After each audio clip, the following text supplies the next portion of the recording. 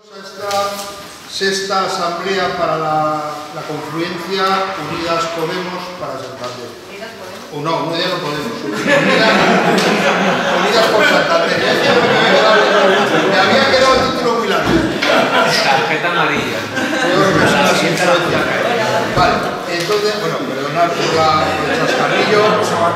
Unidas, Unidas por Santander. ¿Eh? Así a propósito. Eh, vale. Y lo, de unidas es adrede, no es un error, ¿eh? Vale. Eh, bueno, nada más que daros la bienvenida, ya llevamos bastantes meses juntándonos, trabajando juntos y juntas y, y bueno, se han ido dando pasos, estamos ya en un proceso muy avanzado, estamos a puerta de las primarias, eh, que bueno, está dando algún quebradero de cabeza, ¿eh? como hemos podido contrastar todos a la hora de entrar aquí, el sistema informático que se ha adaptado y me imagino que se va a subsanar en estos días. Eh, sí conviene eh, que todas las incidencias que algunas estáis teniendo a la hora de registraros para, para formar parte del censo se hagan llegar eh, cuanto antes a los, a los responsables de, cada partido, de la Junta Electoral, ¿eh? Eh, a través de los distintos correos que tenéis, para que eh, lo puedan intentar arreglar con la empresa que lo gestiona o en el peor de los casos por lo menos se quede constancia por si fuese necesario, ne- perdón, necesario alargar algún plazo o dar una tregua especial a la gente que lo ha intentado en plazo y no ha podido. ¿Vale? Entonces, no os cortéis, eh, por favor, dales el correo. El, el correo es primariasunidasporsantander.gmail.com la página, eh, en botón Cline, tenéis aún así una pestaña donde mandar un email al soporte técnico de la propia empresa que lo gestiona. Pero si no lo encontráis, lo mandáis directamente a este correo que lo recibimos nosotros y así queda constancia que durante el proceso de inscripción para primarias todos, o sea, tú como persona has, lo has intentado, no has podido porque has tenido un problema y luego en el periodo de después, que se va a subsanar, evidentemente no habrá ningún problema porque en el periodo se ha intentado. ¿Vale? Primarias unidas por santander arroba gmail.com. Gracias. Eh, vale, eh, hoy el orden del día, en cuanto a puntos, veis que es corto. Eh, solo tiene la presentación y elección del logo que vamos a unir a ese nombre de Unidas por Santander. Y va a ser la imagen visible que va a aparecer en muchos sitios, esperemos. Eh, y, la, y luego tenemos que desarrollar una idea que ya recibisteis hace un par de semanas, que era la propuesta de la Asamblea Programática, el cómo elaborar el programa de manera participada, colaborativa y opinando todos y todas. ¿Vale? Entonces, eh, lo del logo nos lo va a presentar Paulo. Un segundo. El logo lo va a presentar Paulo y luego gestionaremos un poco las opiniones que os merecen los distintos modelos, etcétera, y decidiremos uno, espero que por consenso. Y, y luego el tema este de la asamblea programática lo presentará Susana y después de ello, pues también alguna duda o tal que surja eh, se pondrá encima de la mesa para todos y a continuación pasaremos a, a realizar el trabajo. Eh, Roberto. Soy, soy, soy un poco pesado, pero me preocupan algunas cosas y quiero proponer una inclusión en el orden del día, que es precisamente el tema del voto online. Y lo digo porque he intentado entrar en el, en el registro y he visto algunas cosas, entonces creo que es un- una vía para el fraude eh, considerable. Y como no quiero que se repitan hechos que se han repetido en otras organizaciones, pues tengo una propuesta. Entonces, eh, me gustaría que se incluyera en el orden del día el tema del voto online. Quiero decir, tengo dudas, que evidentemente las dudas, eh, como he visto cómo funciona, pues las tengo más o menos resueltas, pero igual alguien me dice que, estoy equivocado. Entonces, quiero decir que es una vía para el fraude evidente, el voto online, que se, está haciendo. Bueno, yo creo que no es tema de hacer una votación sobre el asunto. Si alguien está en contra de que se abra ese pequeño debate, eh, pues tendríamos que debatirlo previamente, ¿no? Pero si a nadie le parece mal que se añada un punto al orden del día, lo incluiríamos. Y no parece, ¿vale? Lo que sí, si te parece Roberto, lo dejamos como último punto y desarrollamos el orden del día tal como está y al acabar lo, hablamos, ¿vale? Bueno, pues entonces le voy a ceder la palabra a Pablo para que nos presente el tema de los logos. Bueno, buenas tardes a todas y a todos. Eh, mi nombre es Paulo, eh, vengo por parte de Izquierda Unida, pero hoy estoy sentado en esta mesa formando ya parte de, desde hace tiempo del grupo de comunicación de la confluencia de Unidas por Santander. Eh, a ver si nos podemos entender y puedo hacer que esta presentación sea lo más breve posible y lo más práctica posible. Eh, como veis, aquí no hay proyectores, no hay retroproyectores. Bueno, los retroproyectores son de mi época joven, ya, eso ya no existe hoy en día, los proyectores opacos. Pero no hay medios digitales, no hay pantallas, bueno, pantallas sí la hay, pero que no tenemos nada con, la- con lo que enchufar nada ni, ni hacer nada. Hemos pensado ayer mismo todavía un modo de presentación de, de guerrilla porque tenemos que trasladaros todo esto, pero mandar un PDF a la gente es eh, perder inmediatamente la atención de la gente porque la gente no está en lo que tú estás intentando explicarles, sino que están en la página 3, no entienden nada, tienen objeciones y protestas sobre todo, en fin, son procesos a los que estoy acostumbrado y que son bastante poco productivos. La manera que vamos a escoger, que hemos escogido para comunicarnos es eh, la herramienta que estamos usando en el grupo promotor y en el grupo de comunicación, entre otros grupos de trabajo, desde hace tiempo, que es Telegram. No sé si todo el mundo tiene Telegram. Lo que os rogamos es que quien no tenga Telegram, que se acerque a alguien que lo tenga para que todos podamos ver eh, lo que se os traslada hoy aquí y seamos un poco comprensivos con la carencia de medios tan evidente que tenemos. Eh, hay un canal de Telegram que podéis buscar desde vuestra aplicación que se llama Comunicación Unidas por Santander. Si os vinculáis a ese canal, que es un canal unidireccional, es decir, no es el típico canal donde todo el mundo habla o sube cosas, sino que es un canal para recibir información. Pues si os vinculáis a ese canal, recibiréis y veréis que ya hay dos, dos posts puestos, dos, dos comentarios puestos, dándoos la bienvenida a esta asamblea. Voy a dejaros... ¿Y dónde lo encontramos? Que no sé si todo el mundo lo ha encontrado ya, yo por lo menos no. Estoy hablando de Telegram, no de WhatsApp. ¿eh? WhatsApp es una herramienta y Telegram es otra. Pero ¿dónde lo encontramos? Tú buscas. El grupo se llama Comunicación Unidas por Santander. Es- Tienes que escribir comunicación unida, porque primero te salen más cosas. Vale, vale, ya me, ya me- ya me han... ¿Te ha funcionado? Sí. Sí. A nosotros sí. Lo que pasa es que, bueno, ya mucha gente tiene Telegram, pero no todos, porque no caben los teléfonos todos esos, todas las aplicaciones son demasiadas.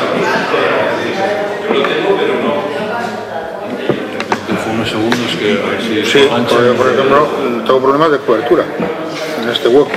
Bueno, pues eh, mira, Ah, no, no me, no me acaba de si nos cargar. lo envían, lo vemos aquí todo.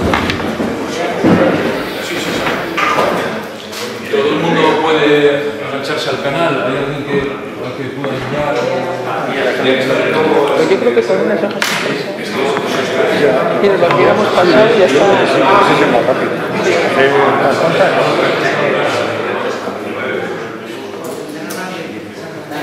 Lo que pasa es que igual le quiere explicar todo lo, lo- claro. Habría que tener claro.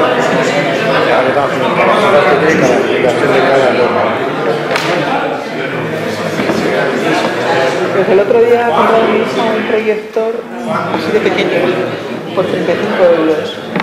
Sí, mm, no, a lo mejor no tiene demasiada calidad para, hacerlo tan, tan grande, pero oye, no, Hombre, yo creo que esto es falta de preparación, porque estoy Sí. seguro que Izquierda Unida, o Podemos, o alguno, O si o alguien, si o dicho, alguien hubiera tiene traído- alguien hubiera traído un proyector otros sí. más, más pobres que nosotros no les hay, y cuando hemos necesitado un proyector lo hemos conseguido.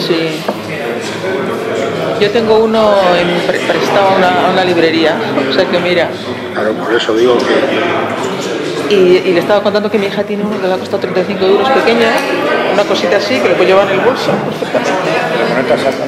No, no, con el pendrive, lo enchufas, ¡pum!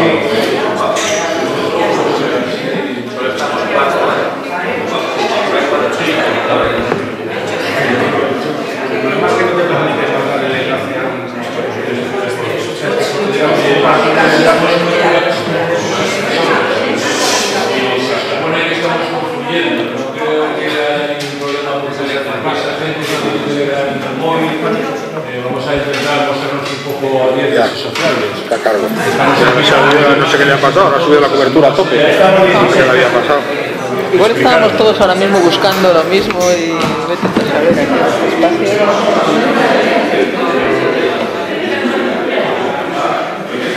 Tenéis, funciona, lo estoy enchufado. Lo has enchufado.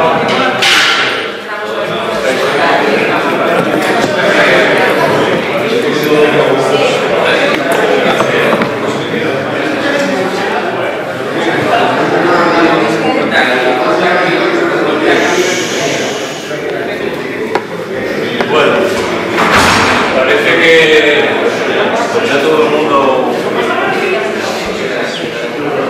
Bueno, yo os, yo os decía muy improvisado ayer porque Por favor, que ya volvemos. como colectivo estas cosas eh, son difíciles de gestionar. Alguien tiene que llamar, hay que reservar la sala, hay que reservar el proyector, luego llegas con el portátil, tu conexión nunca funciona con la de aquí, el sistema de color no es el mismo, no se ve bien. En fin, estos son problemas muy habituales. Pero si sumamos a eso la virtualidad de esta confluencia, pues íbamos a tener problemas seguro.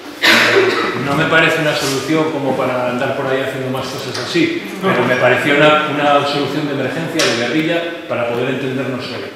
Bueno, la, la propuesta que, que el grupo de comunicación os trae es una propuesta bastante sencilla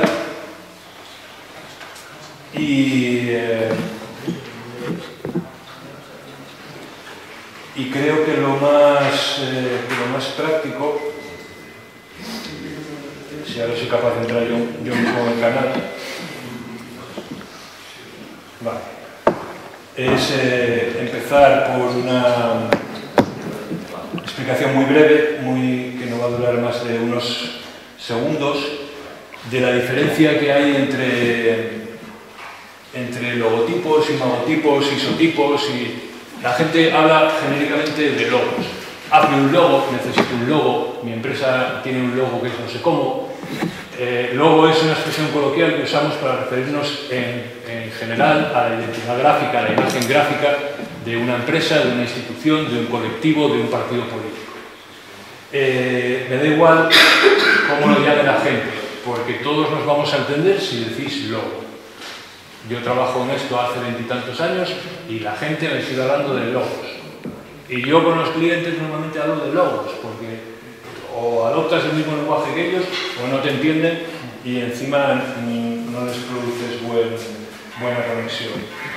Vale, lo que el grupo de comunicación, para empezar a centrar el tema, eh, ha buscado en general eh, es realmente un logotipo al uso. Vamos a trabajar nada más que la representación gráfica del nombre Unidas por Santander.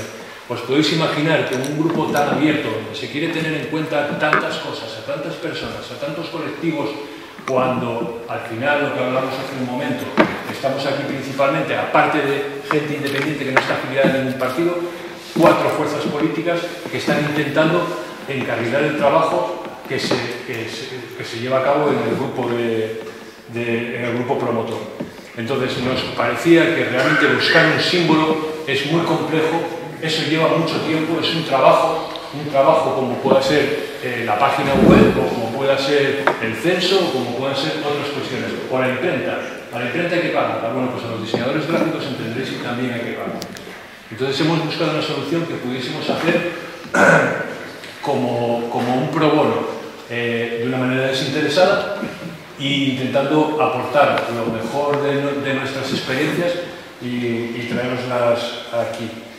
Eh, visto esto, eh, la primera tarjeta que os paso es una cuestión que a lo mejor os parece un poco de perogrullo, pero es por donde se empiezan todos estos trabajos. que es por la representación sin más de las palabras, unidas por Santander. En esa nota que acabo de pasar ahora lo veis escrito con minúsculas, lo veis escrito con mayúsculas y lo veis escrito tipo frase, con la primera con mayúscula y Santander como su nombre propio, obviamente con mayúscula. Esto se hace en todos los procesos creativos, ¿eh? esto no es una cosa que nos hayamos inventado nosotros aquí para eh, tener algo que, que contar. Eh, cuando la gente tiene claras estas cosas, eh, se, van, se van aprobando cosas, o por lo menos uno se va mostrando en acuerdo con lo que se expone, y no hay que volver atrás. Y no hay un después cuando tenemos el logo, ¿y por qué no lo ponemos en mayúsculas? Igual que nadie. Sino que si vamos tomando las decisiones desde el principio, cuando llegamos a las últimas decisiones tenemos mucho caminado y nos hemos puesto de acuerdo muchas veces. Vale, la siguiente tarjeta que os paso eh, es esta, solo para dejar constancia de que es muy inconveniente en este caso trabajar con siglas. No podemos trabajar con siglas como el PSOE, porque PSOE no significa, sí, no significa nada, es abstracto, pero en nuestro caso es el nombre de una empresa de mensajería. Entonces, eh, creo que deberíamos evitar siempre las referencias a Unidas por Santander con abreviaturas. Unidas por Santander es Unidas por Santander, no es Unidas, ni es por Santander, ni es UPS, porque eso debilita la marca. Y la gente al final no va a saber quién está hablando ni, lo que le están contando. En la siguiente tarjeta que os paso, eh, lo que veis son las particiones que nos parecen más sencillas para poder resolver gráficamente. Unidas por y debajo Santander o unidas y debajo por Santander. No hay, eh, no hay mucho más que rascar aquí, sobre todo si quieres algo que esté comprimido en un bloque. Necesitamos además que el bloque no sea demasiado extenso, que la, que la, forma de representar unidas por Santander no sea demasiado larga. Algunos de vosotros estáis familiarizados con los documentos eh, de, las, eh, de, las, mociones municipales y otro tipo de documentos. Para quien no haya visto un encabezado de una moción municipal, normalmente en la hoja arriba aparecen los logotipos de todas las fuerzas políticas que suscriben la moción. Cuando son mociones conjuntas puede haber, aquí en el caso del Ayuntamiento de Santander, seis logotipos distintos. Hay muy poco espacio. Si nuestro logotipo es así de grande y hay que ponerlo en una escala determinada porque lo que están priorizando es el ancho de los logotipos, nuestro nombre va a ser microscópico, no se va a ver. Por eso se busca desde el principio una partición de palabras. ¿Hasta aquí claro? Si tenéis alguna pregunta, por favor me la hacéis en la noche. En la siguiente tarjeta que os paso, eh, aclarado ya que, eh, que, un nombre largo nos perjudicaría en determinados eh, casos, me gustaría presentaros la primera opción, porque ahora hay que escoger una tipografía. Esto es como lo de los colores. Hay 50 millones de tipografías, casi todas horrorosamente malas. Os puedo decir que después de veintitantos años de trabajar en esto, en mi ordenador tengo instaladas no más de 25 tipografías con sus familias. Y todo lo demás es morral. Todo lo demás es para hacer flyers de discotecas, para hacer no sé, cosas poco consistentes desde el punto de vista del diseño. Por eso hemos buscado dos tipografías y además un concepto que a Susana en el grupo de comunicación le pareció positivo, que fue intentar encontrar una tipografía, y ahora esto quizás sea abstracto para algunos, eh, una tipografía que fuese inclusiva, una tipografía con unas ciertas connotaciones femeninas. ¿Qué quiero decir con esto? Os voy a poner los ejemplos claros. Todo el mundo tiene claro el logo del PSOE, ¿no? Cómo son las letras del PSOE. Todo el mundo tiene claro el logo de Podemos, ¿verdad? Son, son tipografías que llamamos en diseño tipografías de palo seco, sin remates. Son las letras acabadas sin remates. No tienen patas las letras, por decirlo de alguna manera. No tienen patines, como dicen en Sudamérica. ¿Vale?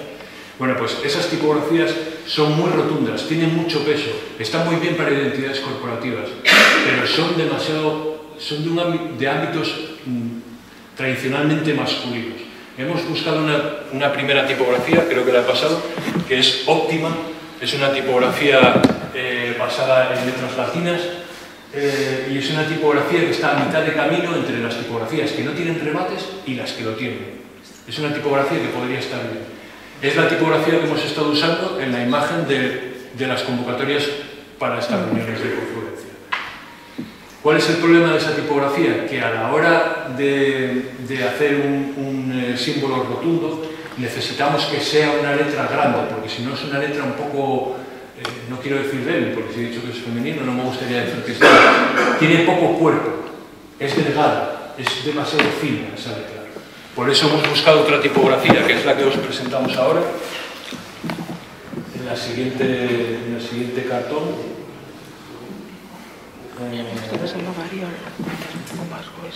Y es esta tipografía. Esta tipografía, la Clarendon, que es de Robert Paisley, es una tipografía muy antigua, es de finales del siglo XIX, pero es una tipografía que os resultará familiar. Vale, son muchas las publicaciones del ámbito feminista que utilizan esta tipografía. Eh, son muchas las revistas dirigidas a público mayoritariamente femenino, y aquí no estoy hablando de feminismo, estoy hablando de mercado orientado a la mujer, que utilizan esta tipografía. Clarendon es una tipografía eh, con el suficiente peso gráfico como para ser el protagonista de una imagen, de una imagen corporativa, de una imagen, de una identidad gráfica para un grupo. es además muy distinta a todo lo que los demás partidos están utilizando. No se parece a la del PP, no se parece a la de Podemos, no tiene nada que ver con ENCO, ni con Izquierda Unida, ni con nada que nos pille cerca, ni lejos. Claramente no la está usando ahora mismo ningún partido en España. A lo mejor resulta que hay una asamblea municipal en Cáceres que no lo sé, pero por lo que yo he mirado, Claramente no la está utilizando nadie. Eh, a la gente del grupo de comunicación nos pareció una tipografía adecuada, como un punto de partida para poder com- po- componer con él un, un símbolo. Y si vamos a ver cómo queda esto aplicado a nuestro nombre, os paso una nueva cartulina. eh, que es esta de aquí. Vale. La meto a propósito con el nombre todo seguido para que veáis que si comprimimos eso y no tenéis más que alejar el teléfono y ver ese nombre todo seguido escrito en pequeño, que es como aparecería una moción municipal, al final no leéis nada. Es demasiado chiquitito, no se va a ver, se va a perder entre los otros logos, que son rotundos, que alguien en su momento encargó a un estudio de diseño, lo pagó, alguien estuvo tres meses dándole vueltas a la cabeza, dándole de sí para sacar una imagen. Y eso pasa con casi todos los partidos políticos que están representados ahora mismo en el Vale. Nosotros tenemos mucha prisa, no tenemos dinero y necesitamos una solución pro gratuita. Que, que en este caso pues traslada al grupo de comunicación para intentar tener algo de una manera clara. En la siguiente cartulina que os paso, eh, os llega la primera de las propuestas que se barajó en el grupo de comunicación. Simplemente una línea y el nombre puesto a la izquierda de esa línea. No creo que necesite explicar, no es un chiste. No creo que necesite explicar porque colocamos el nombre a la izquierda de una línea.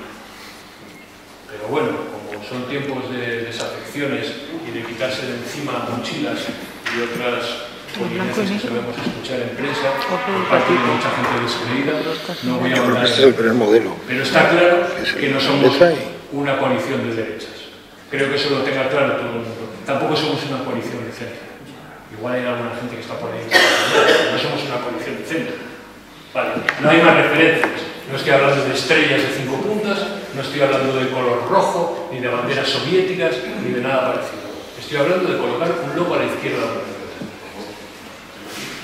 la En la siguiente tarjeta que os paso, os llega la segunda consideración que hicimos porque trabajar con una línea, aparte de, de coincidencias con grupos municipalistas que, hemos visto, cuando hacemos ese logo muy pequeño, esa línea que está a la derecha del logo se vuelve tan fina que se pierde. Entonces estamos perdiendo algo que, que luego, por otra parte, conceptualmente una línea, no, ¿qué es lo conceptual ahí? La situación respecto a la línea. Pero la línea en sí, conceptualmente, no transmite nada. Pensamos que esta segunda propuesta que os trasladamos, que es la de los corchetes, en cierta forma, eh, Normalmente en matemáticas en un corchete, ¿hay algún matemático en la sala? ¿Te quería alguna palisada fuera del lugar? Vale, normalmente que los corchetes que en matemáticas con nuestros corchetes, eh, ¿eh? contienen sucesiones, enumeraciones de elementos. ¿no? Habrá gente de ciencias por aquí que tengo que hacer así con la cabeza, más o menos. Igual ellos lo podrían explicar, seguro, mucho mejor que yo lo podrían explicar. Vale, un corchete contiene elementos diversos. Eh, apuntaba Susana el otro día con, con, buen criterio, porque hay que ser muy crítico con lo que hacemos y hay que ser autocríticos también con las propuestas antes de trasladarlas, que un corchete le daba la sensación de que es cerrado. Mm. Sí, sí que lo es, un corchete es algo cerrado, pero es algo cerrado donde estamos todos. Pero de la misma manera que no podemos seguir esperando hasta el día del juicio final que aparezcan por aquí independientes y gente de buenas intenciones que venga a colaborar en el último momento con un proyecto que ya arrancó hace unos cuantos meses. Hay un grupo promotor, hay grupos de discusión, hay asambleas y aquí estamos los que estamos. Ojalá venga más gente, pero no creo que venga mucha más gente. Hay cuatro, cuatro fuerzas políticas que de alguna manera están llevando el peso aunque haya gente que no está dentro de ninguna agrupación, que también está trabajando dentro del grupo promotor. Entonces, nos parece una buena manera de poder dar cabida a lo que os traslado ahora, que ya lo habéis visto eh, anteriormente representado de otra forma, y es... eh,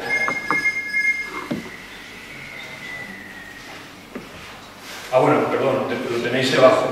Eh, cuando ese corchete se abra, en determinados casos nos manifestaba gente de, los cuatro, de las cuatro fuerzas políticas que sería interesante que los logotipos de las fuerzas políticas estuviesen en algunos casos presentes. Por ejemplo, pancartas para manifestaciones, eh, manifiestos y otro tipo de comunicaciones.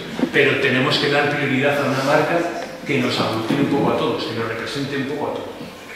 Entonces, los corchetes se abren y se cierran y unas veces contienen el nombre de Unidas eh, por Santander y otras veces pueden contener los logotipos de los cuatro partidos que dieron pie a esta, a esta coalición. Eh, son dos propuestas A y B, que es lo que hoy traemos y sometemos a vuestra consideración para que nosotros tengamos una, una aprobación para seguir por este camino y no tardar más de una semana y media en resolver la identidad corporativa. Esto se trae de esta manera porque intentar hacer esto en una asamblea abierta, con, todos con lápices y, y- y hojas, o sea, esto sería una locura. No terminaríamos nunca. Llegarían las elecciones y no tendríamos nada. Y, y si hay alguien que piense de otra manera, por favor que lo manifieste, porque sabedores de este tipo de situaciones decidimos atajar por aquí, lo mismo que habéis confiado en las propuestas de una empresa con el censo, que luego, bueno, ya discutiremos todas esas cosas. Yo lo confío. Eh, si, si habéis confiado en una empresa que va a desarrollar, o confiaréis, o confiaremos todos y todos en una empresa que gestionará la página web, eh, y confiaremos en la imprenta que imprima los folletos, los pasquines, la publicidad de tenemos, eh, tendremos que confiar y delegar en la gente, porque si no, no se. Bueno, el la última tarjeta que os, que os paso antes de que empecemos o os explique qué es lo que creo que deberíamos votar, os paso una última tarjeta eh, para que os deis cuenta de lo complejo que es escoger un color. Si ya hoy vamos a intentar ponernos de acuerdo en cuanto a la forma de representar el nombre Unidas por Santander, imaginaos para ponernos de acuerdo con los colores. No hay un solo color que no esté ocupado ya en la esfera política. Todos están cogidos. El rojo, el morado, el naranja, el verde de, y de otros partidos eh, europeos, eh, el azul del Partido Popular, eh, el, no me acuerdo cuál era, el rosa de UPyD. O sea, está todo tocado ya. Y no hay, no hay un color que represente a nadie. Y desde luego, el tema este de la, de la psicología del color es algo que como técnico de diseño comparto totalmente, eh, pero el significado de los colores tened en cuenta que depende de nuestra cultura, de nuestro imaginario personal. Eh, lo que en Europa es luto, en Asia es un color de alegría y viceversa. Entonces, no podemos considerar que los colores eh, llevan una pegatina o una etiqueta de este es el color para estar contentos, este es el color para estar unidos y, trabajar. O sea, no hay, no hay una... no existe eso. Sí que existe la percepción de los colores y está estudiado desde los tiempos de la Gestalt, pero no viene al caso. Bueno, viendo estos tres colores, ya os podéis imaginar que el abanico se puede abrir muchísimo. Dentro del grupo de comunicación había un acuerdo en trabajar con un azul. El azul no es el color de ECU, no es el color de Izquierda Unida, no es el color de Santander si se puede, ni es el color de, de Podemos, perdón, de Santander Podemos, de Santander Podemos. No es el color de ninguno. ¿Por qué el azul? Porque alguno dirá, es el color del Partido Popular, sí, pero no hay que coger el azul del Partido Popular y además no vamos a poner gaviota. Es el color de Santander. Si alguien no entiende que sea el color de Santander, no tiene más que mirar cuál es la bandera náutica de Santander. Santander, puerto. Puerto de Castilla, puerto de Cantabria, puerto en general. Ciudad y mar. Si hay un color que define a Santander, no me cabe ninguna duda de que es el azul. A no ser que alguien me diga alguna cosa peregrina como el magenta, puede ser, pero no lo hay. Es el color que ha representado a los barcos y a los habitantes de esta ciudad durante los últimos cuatro siglos. No hay más color que el azul. ¿Qué azul? Ahí vienen las discusiones, pero en ese caso lo que os pedimos desde el grupo de comunicación es que confiéis en nuestro trabajo para que escojamos un azul. Había dos propuestas bastante diferentes en principio son azules, tú dices, ¡bah! Son azules, ¿dónde está la diferencia? Hombre, entenderéis una diferencia entre un azul marino y un azul turquesa. La diferencia, ¿no? Uno es claro y luminoso y el otro es más oscuro, más frío, pero no es un color nada feo. Y luego está el azul como el que pinta el alcalde, o, o pintaba el alcalde y ahora la alcaldesa, las granillas de Santander, que es un azul imposible, que es el de los autobuses de Santander, de los antiguos autobuses de Santander, que es un azul muy difícil de definir. En diseño gráfico se refiere uno de ese color como Pantone 072 EU. Ya veis qué cosa tan fea y tan azul. Bueno, es un color muy difícil de trabajar. Casi no pega con nada, es, es muy difícil de tratar. Entonces, si vosotros ahora, después de esta votación, nos trasladáis al grupo de comunicación que os parece bien que sigamos trabajando en este sentido, nosotros buscaremos el mejor de los azules posibles para todos nosotros y nosotros. ¿De acuerdo? Vale. Creo que lo que deberíamos votar son tres cosas, son dos cosas, muy brevemente, porque lo vamos a hacer muy. Primero, escoger la que a, a juicio de vosotros, de la Asamblea, os parece una opción gráficamente mejor, o la primera con la línea a la derecha y el nombre a la izquierda, o opción A, o la opción B, que es la de los corchetes. No, no, no es que no hayamos tenido tiempo para hacer más, es que con los preceptos con los que hemos empezado a trabajar en representar el nombre de Unidas por Santander, nos parece trabajo más que suficiente. Creo que no deberíamos perder más tiempo, una cosa que de momento va a durar cuatro años. A ver si todos nos llevamos bien y dura más. Ojalá. Pero es una apuesta a corto o medio plazo. No estamos pensando en hacer el trabajo de la hostia. No. Estamos pensando en hacer una cosa que nos valga, que sea funcional, que sea rápida, que no nos cueste dinero y que no nos cueste más horas de sueño ni más, ni más tiempo a los que trabajamos. ¿De acuerdo? Entonces, si os parece bien, a la mesa podemos abrir una votación. Bueno, primero, alguien tendrá alguna cosa que decir, o que no le parece bien, o que por qué no hemos pensado en una margarita, lo que queráis. Pero por favor, vamos a intentar ser porque tenemos un, un proceso después de trabajo bastante intenso. Yo solo ahora Sí, abrimos, abrimos si queréis algún turno de preguntas a Paulo, aclaraciones o dudas y a continuación ya, cuando veamos que la cosa se calma, eh, votamos, os parece. Yo solo es una pregunta, Pau. Con respecto a la raya, sí es cierto que al, al disminuir el tamaño, la raya como que desaparece.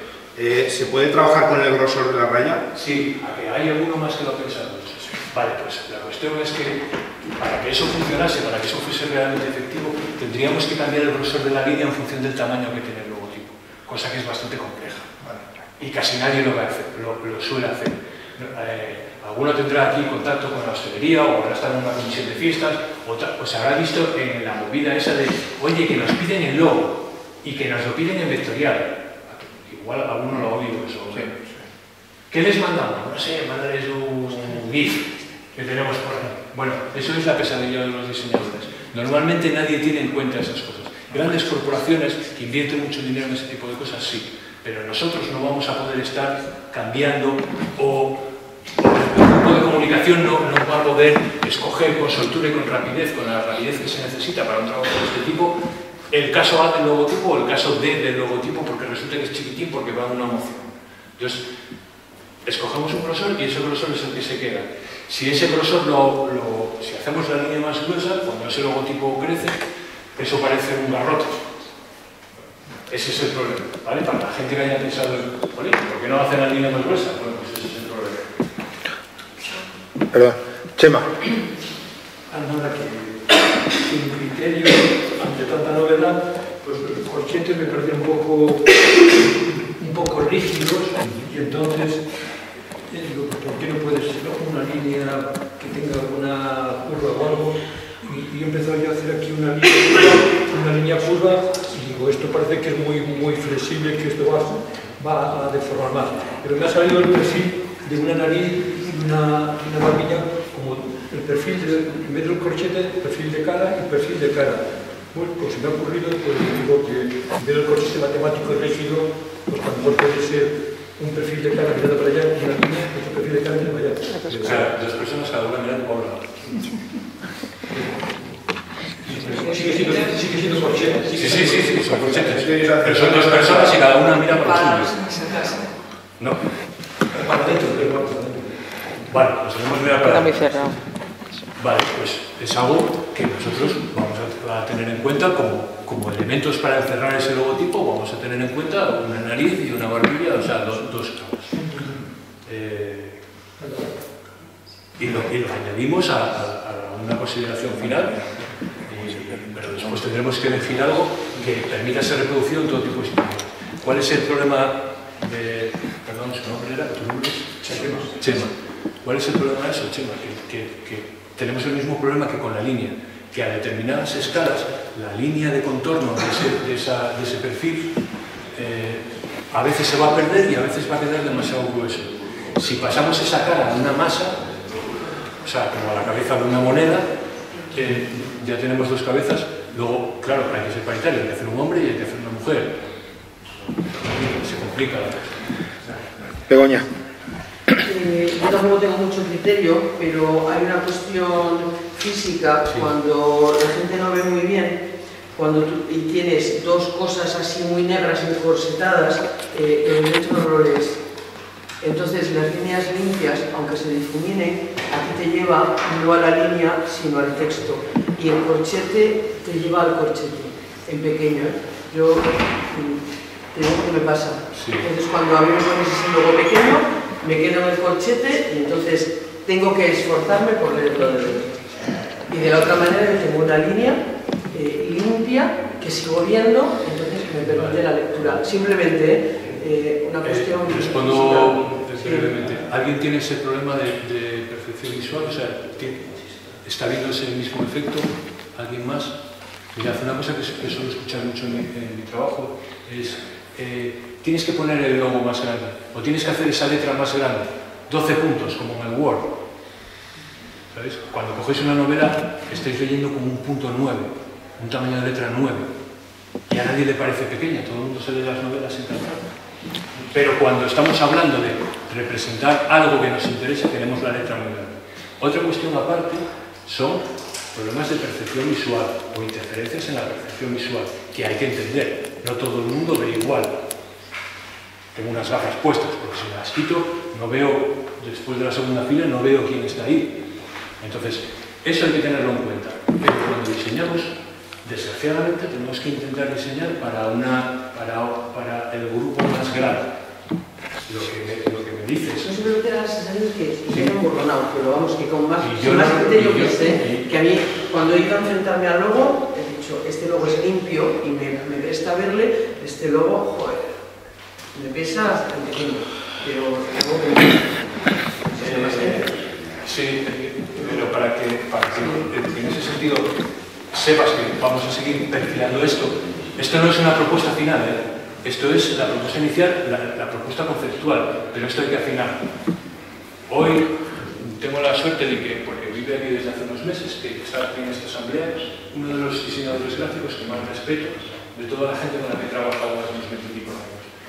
Está ahí sentado, se llama Yu, y da la casualidad de que somos hermanos. Trabajamos en lo mismo hace muchos años. Hemos ido trabajando con muchos sitios en España y hemos trabajado en muchas empresas y casi siempre juntos de la mano. No nos contrataban a la vez porque ya era como estos que vienen por pareja o que... Pero hemos trabajado en muchos sitios. El otro día sobre los colchetes me decían, estos colchetes son muy gruesos, ¿verdad? Hay que afinarlos más. Y le dije, no hay tiempo ahora para afinar más. Pero si la Asamblea ratifica nuestro trabajo, por supuesto que afinaremos eso procuraremos que sea de la mejor manera posible. Porque la intención de esos, y hay que abrirlos un poco más, porque la intención de esos colchetes es que la vista vaya a Unidos por Santander, no a los colchetes. Pero no queremos que la gente olvide los colchetes. No queremos que nos pase como con la línea o con, o con otras formas que podamos tener alrededor. Los colchetes son nuestros y dentro de esos colchetes estamos todos. ¿Vale? ¿Alguna Sí, hay otra pregunta, Lidia. Sí, yo eh, tres cuestiones. Eh, entonces habéis descartado, porque cuando veía cuando, cómo distribuíais las palabras, eh, habéis puesto también primero más grande unidas en grande y por Santander Sí. debajo. Vale. A mí eso personalmente me ha gustado un poco más. Vale. Y luego otra cuestión. Eh, el tema de la tipografía con Santander, visto en rojo y tal, lo estábamos comentando, lo un poco de coña, porque yo creo que en el fondo se nos parece un poquito, la hemos comparado, no es exactamente igual, pero se nos parece un poquito al Banco Santander. Sí, deberíais ver la página del Banco Santander y ver que hace tiempo ya que han cambiado la tipografía, no tiene nada que ver, tiene una tipografía de palo seco, es algo que el otro día te comenté a ti, digo, no te preocupes por lo que te estoy pasando ahora, Ah, porque es posible, claro, es que es- es- son, son muchas presentaciones de muchos proyectos, entonces ya sé por dónde me va a salir la gente con esto, oye, esto, entonces ya lo tengo en cuenta y ya aviso Entonces, la tipografía actual del Banco de Santander, primero, es una tipografía que es una sabón, no tiene nada que ver, Sí, no, luego le hemos comparado. pero claro, eh, eh, si la pones en blanco sobre fondo rojo y escribes Banco de Santander, cuela perfectamente. Pero la tipografía no tiene, uno, no tiene nada que ver y segundo, el Banco de Santander ya ha cambiado para nuestra tranquilidad la tipografía, cual, si había algunas No sé, decimos que era hasta bueno, porque parecía que... Vale, eso, eso también se hace cuando se busca refuerzo en algunas marcas, buscas que, sepa, que recuerde a argumentar. Y la Recuerda ver que los cogeros de la Coca-Cola. Sí, refiero.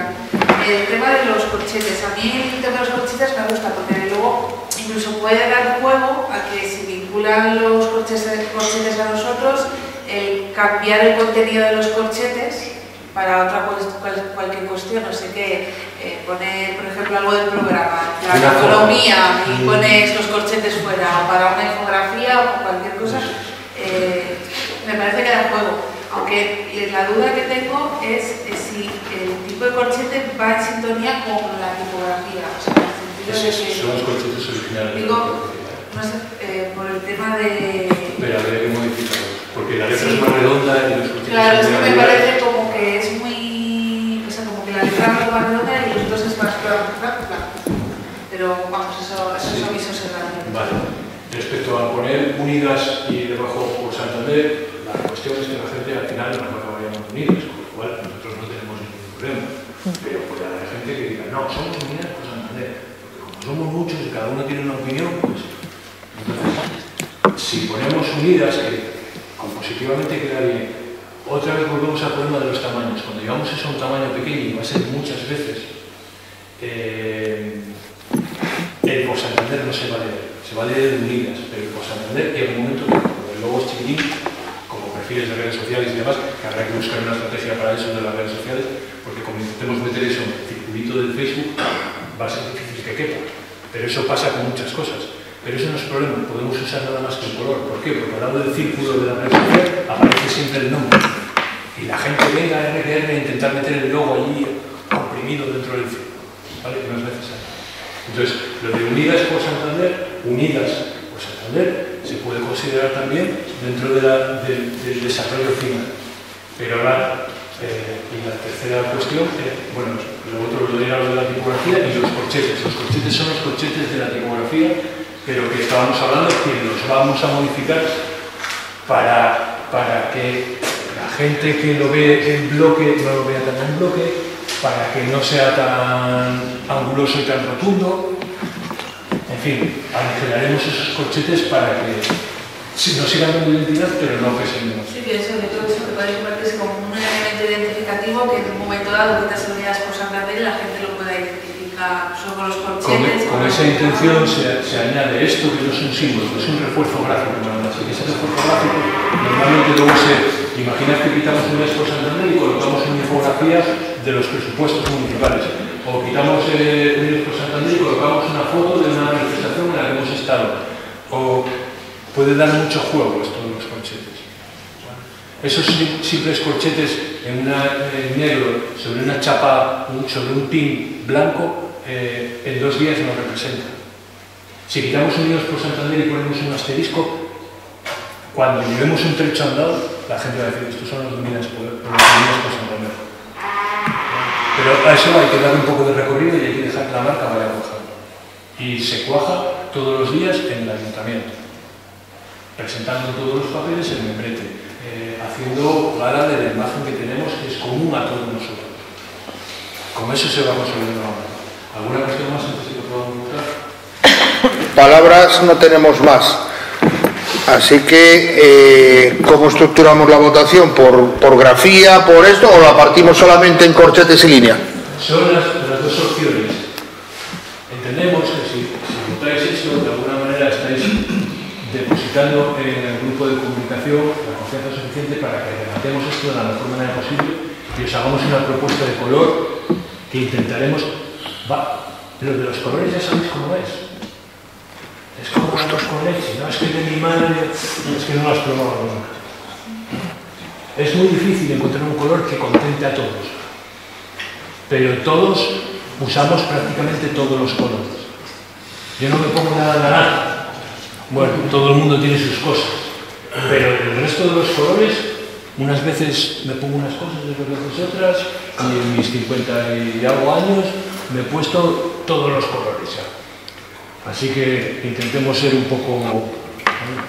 Entonces, las dos opciones que tenemos para votar, cuando, cuando intervengas tú después, es la opción de la línea o la opción de los corchetes.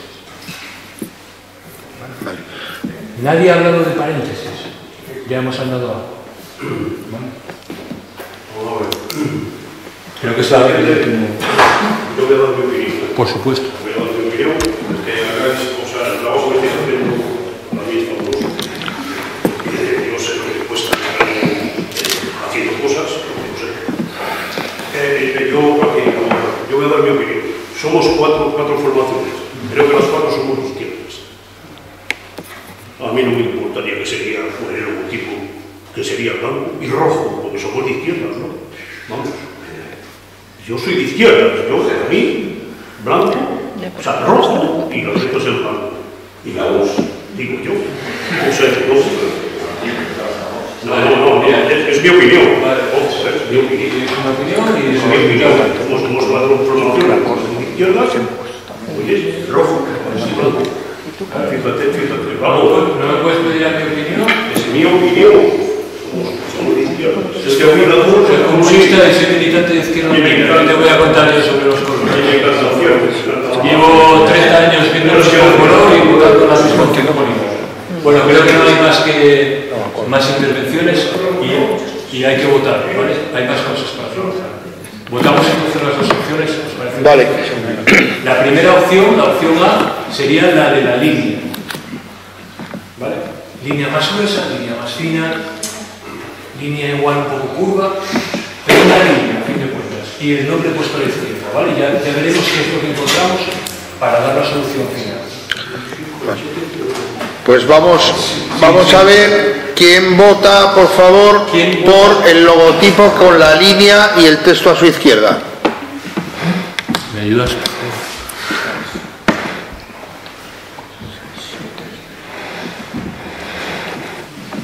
Ah, no, no, Siete. Bueno, pues la otra es fácil. ¿Quién vota por los corchetes?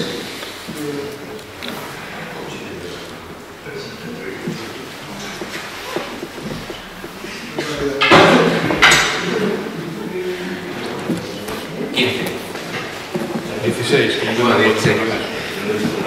Hay gente que se abstiene. Sí. Hay que bueno, como no tenemos una cuenta de los que somos exactamente, bueno, Abstención. sí, son abstenciones ahora, ¿eh? Alguien- eh, vamos a ver, los que no votan sí o no, conviene que se abstengan. 8. Pues que no. Yo creo que nos está dando. Estoy muy de acuerdo con la gente que se abstiene a pesar del trabajo que tenemos que hacer porque eh, donde se demuestra la solidez y las intenciones de un grupo político, de un colectivo político, es en el trabajo que hay con Muchas gracias por el tiempo, por haberme escuchado y creo que hasta aquí el tema de el color, decíamos que era un azul, lo que pasa es que ah, bueno, ¿queréis votar el tema del color? Porque- Vale. Que, que estemos todos de acuerdo, por lo menos todos que estamos aquí. Entonces creo que la- la- para simplificar la votación y no volvernos locos, la cosa sería azul o otro color. ¿Vale? No azul.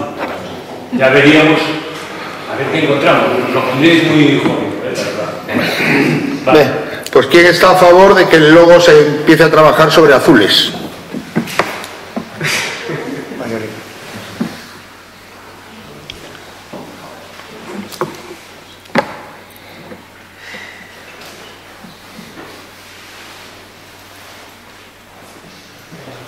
Veintisiete. ¿Quién tiene huevos en el otro color? Cero. Dicho lo que dice Fer, pero más fino.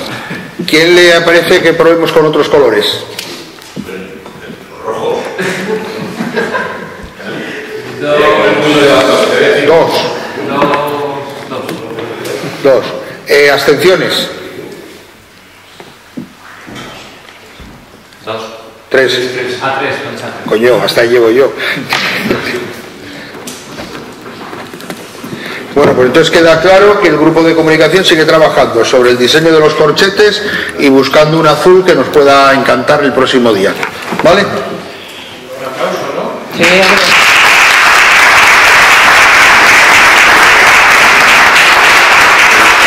Hay un voto de diferencia.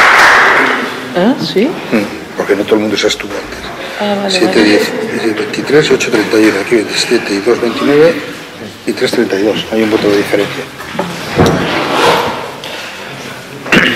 Vale, pasamos al segundo punto de los que habíamos hablado, que era el tema de las asambleas programáticas o programa o la, la convocatoria iba programa, pero todos tenéis un documento ya de hace dos semanas que era asambleas programáticas, que es lo que se va a desarrollar ahora. ¿Vale? Venga, Susana empieza cuando quiera. Vale, os mandé hace 15 días, estuvimos hablando de ellos, una propuesta para asamblea programática. Es una manera que de salirnos un poco de la dinámica que estamos teniendo de proponer documentos o de grupos de trabajo cerrados en los que vamos a trabajar cosas. ¿no?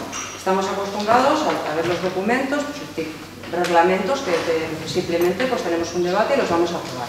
Entonces, lo que se propone, lo que hemos propuesto para hoy, es una dinámica participativa para ir trabajando los ejes fundamentales del programa. La cuestión, lo que hoy tenemos que sacar aquí son las ideas fuerza. No vamos a desarrollar un programa, es decir, no vamos a decir, queremos remunicipalizar y entonces lo vamos a hacer pal, pal, pal, pal, pal y de esta manera, ¿no? La cuestión es, queremos remu- remunicipalizar cierto tipo de servicios. Tenemos que sacar las ideas fuerza para que luego las personas del grupo de programas se encarguen de elaborarlas y de ponerlas eh, negro sobre blanco para que la ciudadanía lo pueda ver. Eh, yo el otro día os pasé un listado de lo que son las concejalías en el Ayuntamiento de Santander. Y sí que me gustaría que dedicásemos unos minutos a hablar de ello. Entonces, para hacer que la dinámica no sea tan pesada, eh, lo que hemos hecho es proponer eh, un agrupamiento en ejes de trabajo. Y nos han salido siete, siete bloques de trabajo. El primer bloque sería más que nada para que vayáis pensando también a qué grupo de los que estáis aquí queréis juntaros, si os parecen bien los que vamos a proponer. El primer bloque, eh, sería infraestructuras, urbanismo y vivienda. El segundo bloque sería economía, empleo y hacienda. El tercer bloque es medio ambiente y movilidad sostenible. Cuarto bloque, sería barrios y, barrios y participación ciudadana.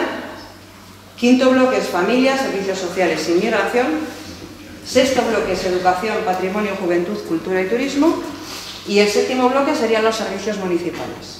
Basuras, agua, transporte, asistencia domiciliaria y todo lo demás. Siempre teniendo en cuenta que tanto las propuestas feministas como las de política ecológica tienen que ser transversales en todo el programa.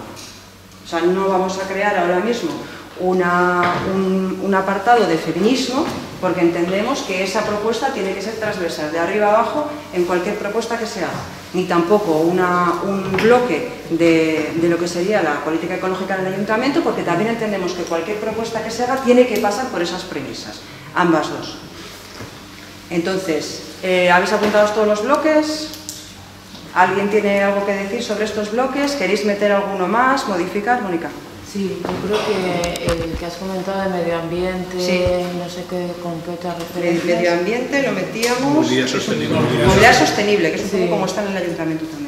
Yo, yo creo que debería ser también un tema transversal, que no tuviera un grupo propio, sino que... Medio ambiente, lo que hemos hablado de políticas o sea, toda la sostenibilidad, lo- todo lo que es ecología política, que fuese un tema transversal. Lo que he apuntado al final. Sí, vale. que tenga algo propio para ir, para ir haciendo pedagogía sobre ello. Perfecto, entonces el bloque medio ambiente, movilidad sostenible, la propuesta es cómo quedaría movilidad sostenible o lo eliminamos y lo metemos movilidad sostenible como tenemos servicios Movilidad, municipales de transporte, vale. Eliminamos entonces el tercer bloque de movilidad sostenible y medio ambiente, entendiendo que la movilidad sostenible la vamos a proponer en el séptimo bloque, que son eh, servicios municipales, que entraría transporte, y medio ambiente ya hemos dicho que es transversal. ¿Correcto? ¿Sí? Vale. Hombre, no es lo mismo. ¿Cuál? Que no es lo mismo. pero lo podemos, no sé, como... Yo por eso eh, se produce el debate, vamos, para que opinemos todos. Es que los has dicho muy rápido y para anotarlo, yo he ido marcando aquí, pero no coinciden. No, no, claro. Claro. Entonces yo creo que nos tendrías que decir un poco más despacio para que el que quiera los pueda anotar. ¿eh? Los voy a repetir. Primer bloque es infraestructuras, urbanismo y vivienda. Segundo bloque, economía, empleo y hacienda. Espera un poco despacio, que hay gente que no tenemos el programa. Economía, empleo. Y Hacienda. Tercer bloque, que era el que estábamos debatiendo ahora, medio ambiente y movilidad sostenible. Cuarto bloque, barrios y participación ciudadana. Quinto bloque, familia, servicios sociales, inmigración. Inmigración. Sexto bloque, educación, patrimonio, juventud, cultura y turismo. Repite el sexto, por favor. Sexto bloque, educación, patrimonio, juventud, cultura y turismo. Patrimonio con educación y cultura. Está agrupado. Vale. Bien. Séptimo bloque, servicios municipales. Y entonces Mónica apuntaba que el tercer bloque, que es medio ambiente y movilidad sostenible, anularlo, entendiendo que la movilidad sostenible y el medio ambiente tienen que ser ejes transversales, como veíamos a la, y la compañera que apuntaba que movilidad sostenible como que no. Yo creo que tiene que estar, que es importante. Puedes meter el medio ambiente como transversal, como dice Mónica, pero yo creo que hay que tener el punto de movilidad sostenible tiene que estar. Perfecto, pues Por mí, entonces, ¿eh? si os parece dejar el tercero con movilidad sostenible, pues, Sí. Ahí el último era servicios generales, ¿no? servicios municipales. Puede entrar movilidad sostenible ahí. ¿Eh? Es otra cosa. Y pues es una, todos son otras cosas. O sea, las infraestructuras tampoco es vivienda, ni la economía es empleo. O sea, se relacionan, pero no son exactamente, cada cosa tendría que tener su propio grupo. Pero apuntando lo que ella dice, yo creo que lo que está diciendo es que pues, tiene que, es transversal, ¿no? Ese es el punto, ¿no? El medio, medio ambiente. Exacto. el Medio ambiente sí, sí. la movilidad sostenible no. Y lo que estamos viendo es dónde meter movilidad sostenible, Entonces, porque ella dejaba como punto movilidad sostenible y pasa a ser medio ambiente el que es el transversal. Eso es lo que yo he entendido. ¿Sí? Vale.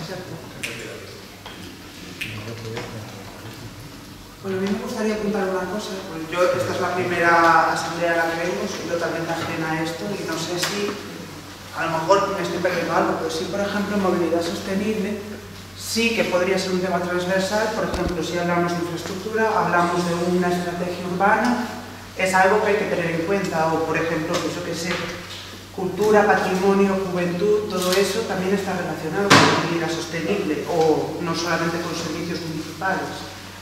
Vamos, mi opinión. Es decir, que se podría entender como algo transversal que se puede meter en varios de estos bloques de trabajo, en vez de especificarlo en uno. Luis. Porque estoy la de movilidad. A mí esto, cuando lo leí en su momento, me pareció que era demasiado... Está bien, pero, o sea, no, no me opongo a que, a que haya este tipo de clasificaciones, pero me parece una pura formalidad.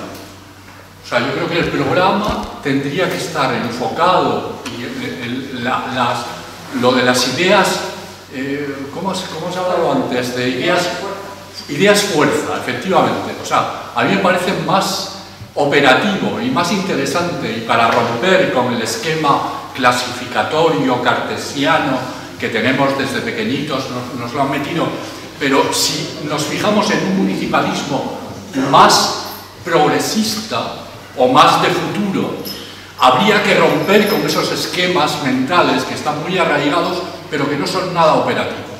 Cuando yo pienso en movilidad, estoy pensando en mi barrio, cuando estoy pensando en feminismo, estoy pensando en eh, la iluminación de mi barrio, cuando estoy pensando en educación o en cultura o en patrimonio, estoy pensando en las necesidades culturales de mi barrio, cuando estoy pensando en sostenibilidad eh, y en vivienda y en edificación, estoy pensando en urbanismo y no un urbanismo rampante, ni un urbanismo de distinción, sino un urbanismo realmente al servicio de las personas. Entonces yo creo que eso es, está muy bien, que lo hayáis, que hayáis hecho esa clasificación y tal, pero a mí no me dice absolutamente nada, hasta el punto de que me, me disuade de integrarme en, en uno de los grupos de trabajo. Porque digo, ¿en cuál me meto? En el de medio ambiente, que me interesa muchísimo, pero no me interesa menos el de urbanismo. Y no me interesa menos el de patrimonio, ni, ni siquiera el de eh, movilidad sostenible, ni el de feminismo, siendo yo un macho y, con una cultura y una tradición machistas que también me gustaría despegarme de eso. ¿no? O sea, no sé en cuál integrar. Yo creo que las ideas fuerza de las que hablabas antes serían más operativas y más interesantes desde el punto de vista del programa. Y luego, yo, para terminar, el programa lo vincularía de manera directa, de manera directa con el código ético. O sea, yo creo que el programa eh, se irradia a partir de un código ético y de unos barrios, porque todos vivimos en un barrio. Entonces, o sea, para mí esas son dos ideas eh, fuerza eh, fundamentales en el municipalismo. El barrio y el, el pro- el- el código ético.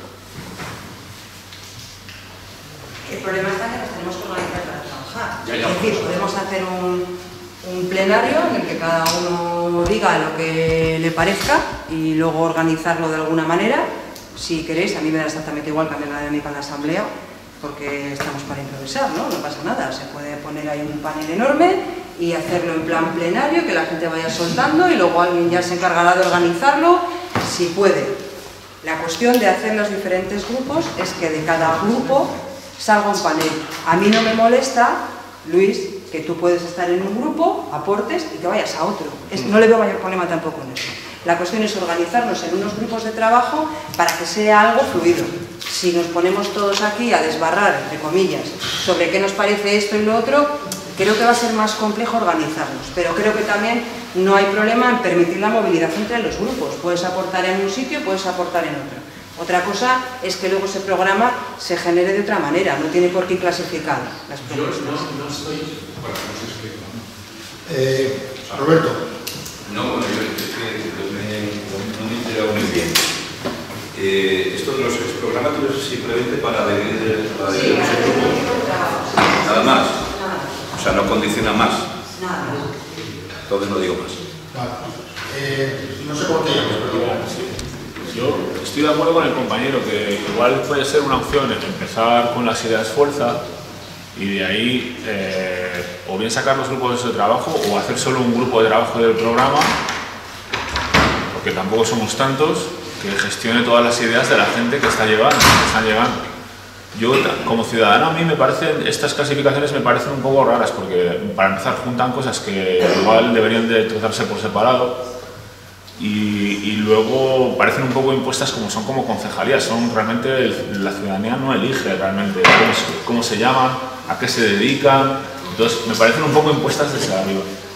Y luego el tema que muchas veces estamos aquí para, para poner cosas en, en, política, cosas que vemos y cosas que sentimos. Entonces, igual es una buena forma simplemente exponerlo eso, recoger todas las ideas y luego ir agrupándolas en contenedores que pueden ser esos o pueden ser otros, porque ya te digo que hay cosas que no, no casan mucho juntas, deberían de irse por separado igual, y luego que son, son nomenclaturas que igual no nos representan, o sea, es decir, no se tienen por qué llamar así, se tienen que, y yo creo que tenemos que tener libertad para, desde, desde la confluencia para poder elegir y tener libertad mental para poder, esto no lo queremos llamar así, lo vamos a llamar así y lo vamos a separar de esto, entonces, no sé, igual es otra manera de enfocarlo. Yo, yo sinceramente pienso, eh, es que creo que no, no, tiene nada que ver una cosa en contra de la otra. O sea, para mí simplemente entiendo que tenemos que empezar por algún lado. Realmente somos mucha gente, el tiempo es limitado y entiendo que hay personas aquí muy capacitadas de varias áreas que se han dicho. Yo creo que esto no es, no es simplemente una, una estructura que ya va a ir a misa, ¿no? Creo que podemos ir poniendo las ideas, se va a dar la libertad a las personas de poder aportar en el círculo o en la parte que vean y es que no le veo más, no le veo más problema a empezar a trabajar sobre esto y evidentemente si las personas queremos aportar, se ha dicho que se puede ir moviéndose en los diferentes grupos de trabajo, ¿no? pero entiendo que es que hay que empezar a trabajar, si no, no, vamos a sacar nada de esto. ¿eh?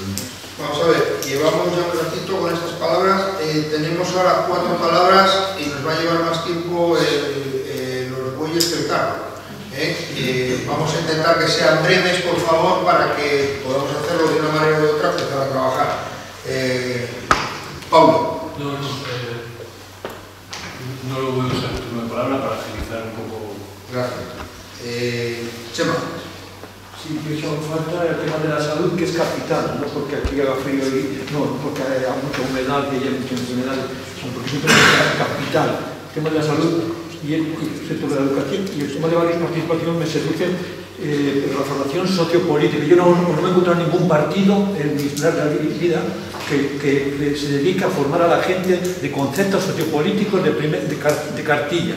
Entonces, eso, la mejor forma es, es reflejarlo en la, en la campaña. Pero, pues eso que se incluya. Lo de formación permanente englobaría todo eso, porque había dicho ideas, fuerza y idea metodológica. Aquí nos mezclamos las opiniones. A mí me da igual que haya siete enunciados, que, porque luego lo que, el programa ya le, pondremos otro enunciado. Ideas, fuerzas. Entonces yo digo, la idea fuerza es tema de la salud, la formación permanente sociopolítica. Que no un partido, seríamos los primeros que convocaríamos a reuniones de formación sociopolítica en los barrios y. Eh, Roberto, perdona, ah, sí, Roberto. No, no, que vamos a ver, estoy cogiendo lo que decía el compañero, esto, que cada grupo de trabajo pueda también hablar o tratar cuestiones generales del programa. Porque es que si no, eh, sí es cierto que se puede quedar un poco cojo el debate. Después lo que veo es que soy, estáis hablando de siete grupos y he contado 33 personas. Estamos aquí, o 34. Entonces, eh, igual me parecen muchos grupos. ¿verdad? Esto, un grupo de cuatro o cinco personas es un grupo pequeño, o lo mejor es ir a un grupo de siete o ocho personas.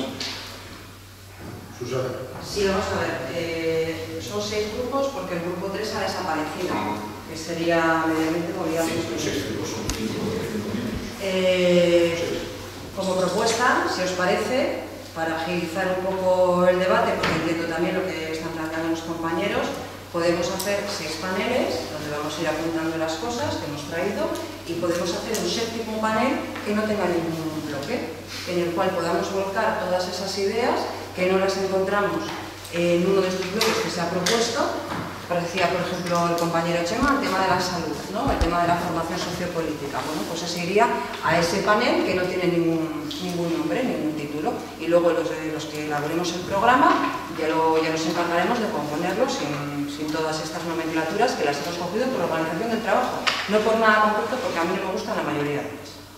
Te soy sincera.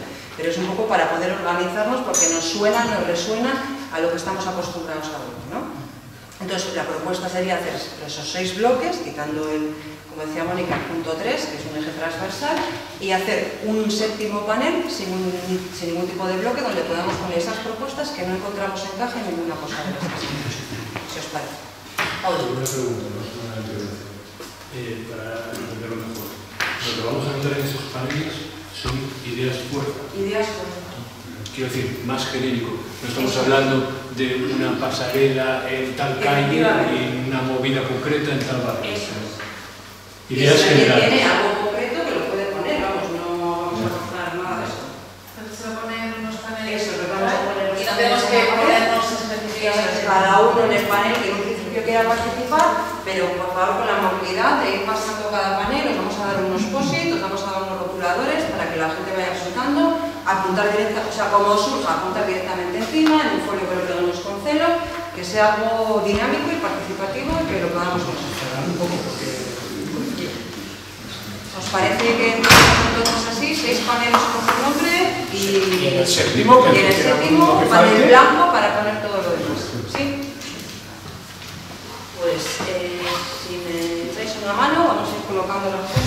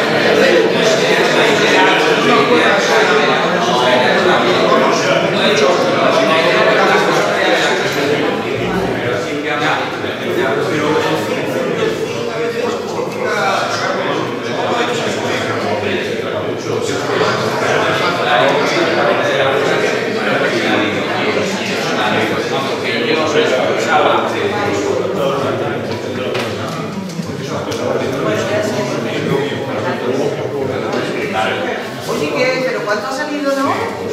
¿Mucho? Qué bien.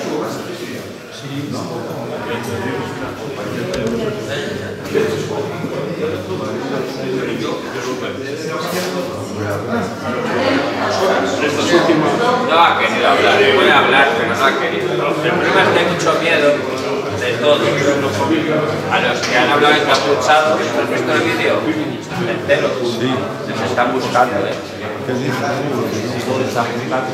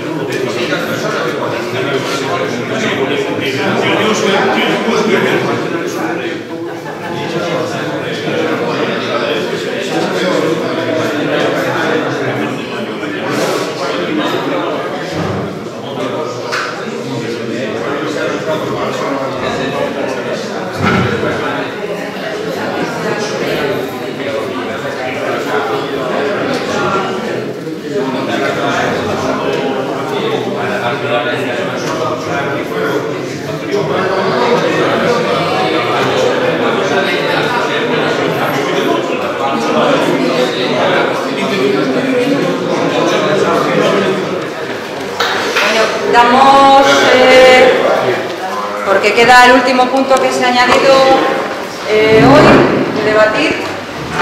Finalizada la dinámica participativa. En primer lugar, daros las gracias a todas por colaborar.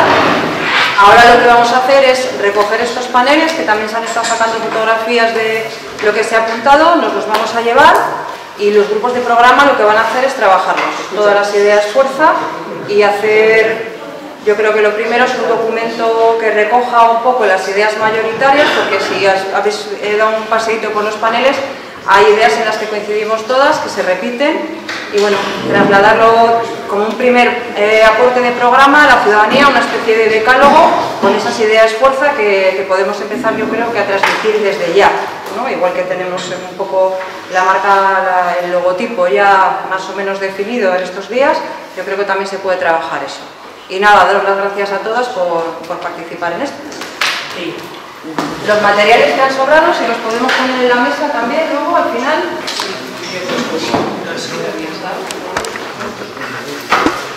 Vale, pues nos, nos volvemos a sentar. Una pregunta, una pregunta sin, sin ¿El grupo de programa es, es el grupo promotor o es abierto? O... Es abierto y también os queremos invitar a las que queréis participar en el programa que dejéis vuestro contacto y el correo electrónico para empezar a conformar ese grupo. Se va a empezar a trabajar a partir de hoy. ¿Eh? No, porque se ha empezado a hacer esto primero.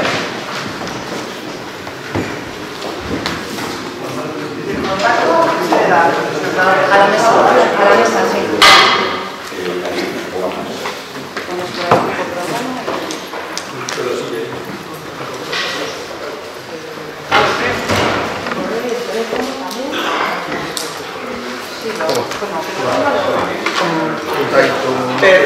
Sí, para muy bien. Un punto que hemos añadido al empezar, propuesta de que más. Vale, empezamos entonces ahora con el último punto que nos queda, eh, que era el punto que hemos añadido al empezar, que proponía Roberto sacar el tema de los votos online, así con ese anuncio así genérico, ahora nos explicará un poco lo que quiere y, hablaremos sobre ello. ¿Vale?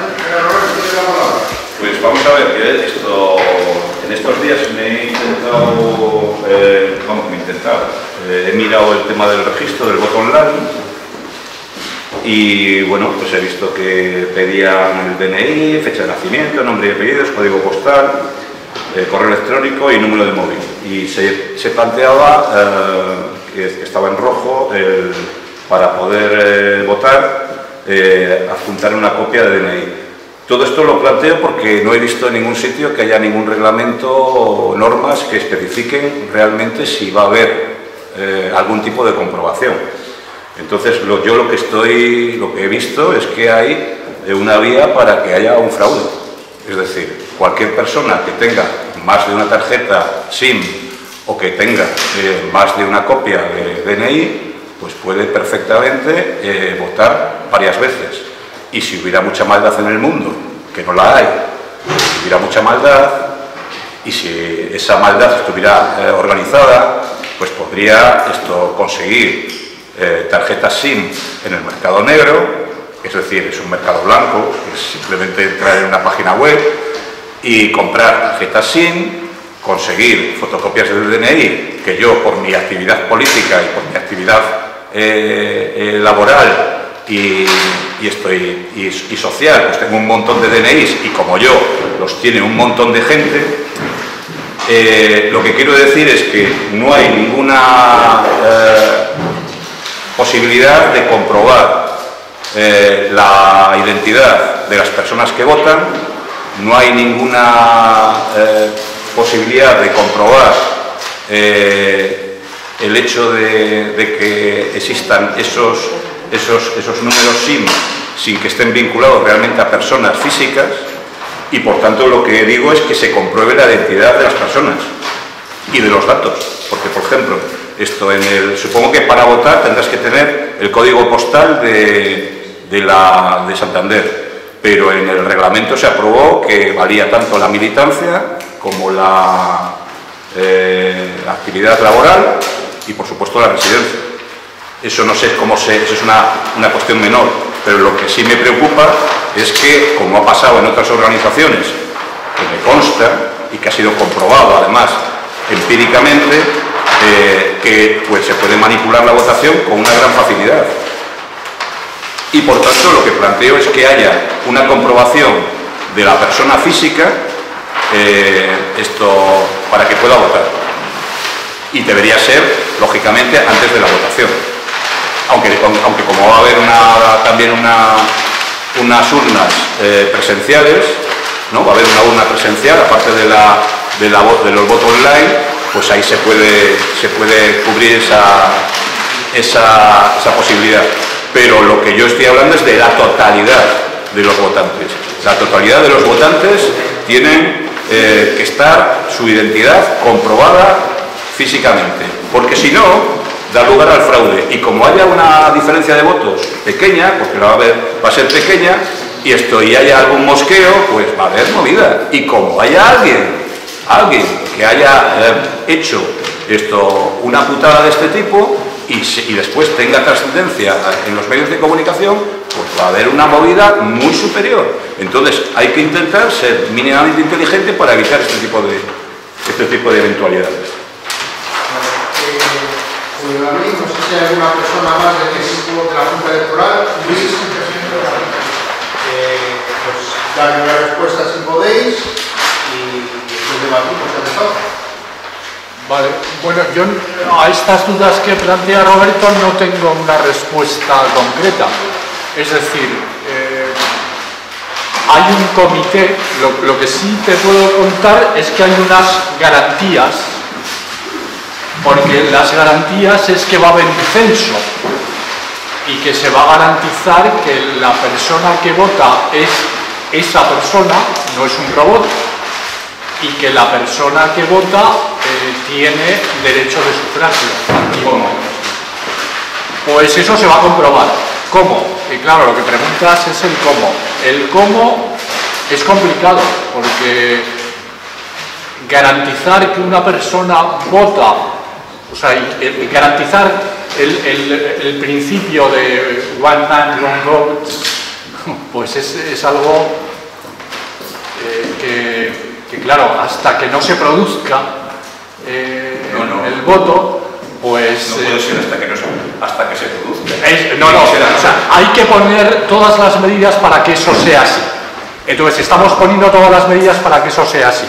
En concreto, en concreto, te, eh, te digo, eh, por ejemplo, la plataforma esta, creo que es Voto Online, o sea, Voto Online, tú ahí eh, entras y rellenas un formulario. Eso es un- una plataforma de estas informáticas, yo no tengo ni idea de informática, pero eso supongo que funcionará con unos algoritmos y con unas, con unas historias, que tú entras allí y solicitas inscribirte en un censo. Bien, cuando solicitas inscribirte en ese censo, tienes que rellenar un formulario. Y luego te obligan a presentar unos documentos de identificación y de residencia. El documento de identificación por excelencia hay otros, pero este es básicamente el documento que identifica a cualquier persona. O bien esto, o bien un pasaporte, en el caso de que seas emigrante. Aquí se dice quién eres, se pone una foto y se comprueba formalmente en las sociedades modernas que tú eres tú, el que lleva este, esto eres tú. Claro que se puede falsificar esto, por supuesto que sí, y yo me puedo cambiar la cara y puedo, puedo hacer una operación de, de cirugía, pero vamos, hay que confiar mínimamente en que si tú llevas un carnet que te identifica, eres tú. No, no, espera, déjame acabar, déjame acabar. Entonces, en, ese, en, esa, en esa solicitud que tú haces en el formulario de inscripción, te piden que adjuntes unos documentos. Este es uno de los documentos imprescindible para, para poder votar. Y otro documento es esto, que es un certificado de empadronamiento, porque claro, yo estamos en unas elecciones municipales, yo podría votar aquí, pero podría hacer que vinieran todos mis amigos de Puerto del Rosario a votarme a mí, y, vienen en un avión y vienen y, y me votan todos a mí. Entonces no, eso no, porque mis amigos de Puerto del Rosario tendrán que votar en Puerto del Rosario, no en, en Santander. Entonces esto es un certificado de empadronamiento que lo obtienes o bien con el, con el carnet yendo a la oficina del ayuntamiento del padrón y solicitándolo, entregas el carnet y te sale un papelito como este y en este mismo papelito también te dice, por ejemplo, si eh, tienes el, eh, estás domiciliado en Santander, eh, si con quién vives, tal. Casos, casos que hemos valorado, casos hay infinidad de casos. Yo, por ejemplo, soy nómada y vivo unas veces aquí, otras veces vivo en Fuerteventura, otras veces me voy a vivir a Marruecos, otras veces vivo en el Atlas, otras veces me voy a Nueva Zelanda. Bien, si eres nómada, tienes un problema para para este, en este caso. Es un caso que valoraremos, que valoraremos. ¿Qué documento, qué documento de inscripción y qué fórmula te permitirá votar? Porque no vamos a dejar que se les prohíba el voto a los nómadas. Otro caso podría ser, vivo en un piso patera, yo no, eh, no tengo domicilio tal, eh, soy un outsider, no, no sé, vivo un poco como Rimbaud, Vale, muy bien, pues tu caso también lo valoraremos. También lo valoraremos.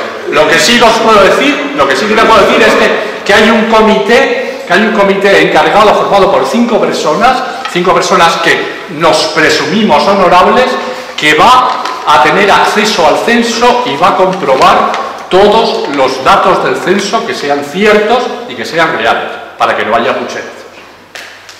has contestado. A ver, perdón, perdón. A ver, creo que la exposición es incorrecta, pero no sé si ha respondido a lo de, a lo de que Roberto. Quizá, quizá a ver si puede, dar otro enfoque a la explicación para que responda Lo primero, lo primero, gracias porque nos ayudas a ver, de verdad, el mismo problema que nosotros hemos planteado en la mesa. Lo que no queremos es que pase exactamente lo que tú has dicho.